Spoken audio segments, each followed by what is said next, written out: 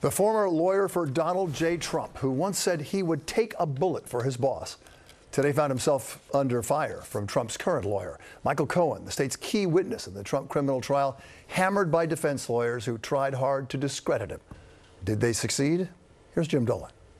Michael Cohen once called himself Donald Trump's designated thug, a wannabe tough guy who now says he was knee deep in the cult of Donald Trump things have changed. You better believe I want this man to go down and rot inside for what he did to me and my family. That was from a podcast and was played for the jury today as Trump's lawyers tried to show a man hell bent on revenge by the president who abandoned him.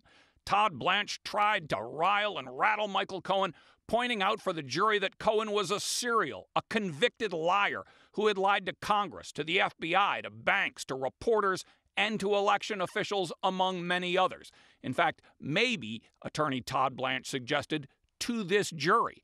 Cohen had testified about a 96 second phone call made to Trump's bodyguard Keith Schiller, saying that he and Trump finalized the hush money payments to Stormy Daniels in that call. That was a lie, Blanche bellowed in court. He produced text messages that showed Cohen and Schiller were discussing prank phone calls Cohen had been getting from a teenager.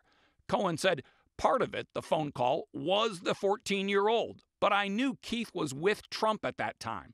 That's a lie, Blanche again shouted. You didn't talk to Trump that night. You can admit it. No, sir, I can't, Cohen answered calmly because I'm not sure that's accurate. Trump did not violate federal election law at all. Mr. Trump has taken this week to reading what other like minded people are saying about his trial. But he does not say much about the matter himself, perhaps because of the gag order and the threat of jail for violating it. Not much has really changed in the five weeks since this trial began. It hinges now, as it did at the outset, on whether the jury believes that Michael Cohen, after a lifetime of lying to anyone who would listen, is suddenly telling the truth. We'll know soon enough what the jury believes. The judge said today that lawyers should be ready for closing arguments on Tuesday.